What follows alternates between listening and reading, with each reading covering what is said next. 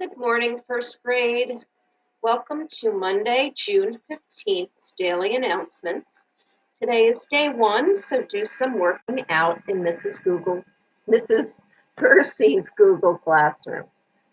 Mrs. Daniels is having a difficult Monday. Oh no. Our final Zoom meeting is tomorrow. Tomorrow is the last day of school, your last day of first grade.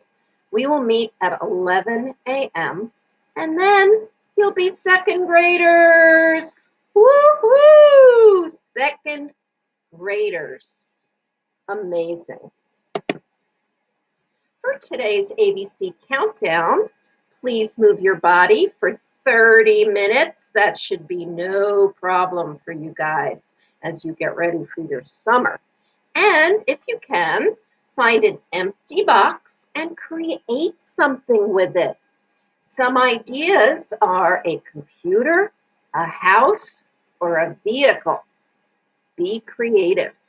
And if you do this, if you create something for Box Day, please be prepared to share it at our final Zoom meeting. I'm sure your classmates would love to see it. Today's must-do assignments. Well, I guess I'll start with these birthday kids. Um, our final flip grids for summer birthdays are for Noah and Aurora. And you will be also doing one for Max, who is in Mrs. Ortiz's class. So please make sure to leave Noah, Aurora, and Max birthday Flipgrids today. All right, for writing, if you did not finish your digital memory book, please finish it up today. We will be doing some sharing of your digital memory books um, tomorrow during our Zoom meeting. And if you've already finished your digital memory book, you can write your weekend news in your journal, your final weekend news of first grade, so make it a good one. For social studies, you are going to learn about a holiday that takes place later this week after school is over. Um, it takes place on June 19th, and it is called Juneteenth. And you will be learning about it um, through PebbleGo and some other resources, and then leaving a comment about something you learned about Juneteenth.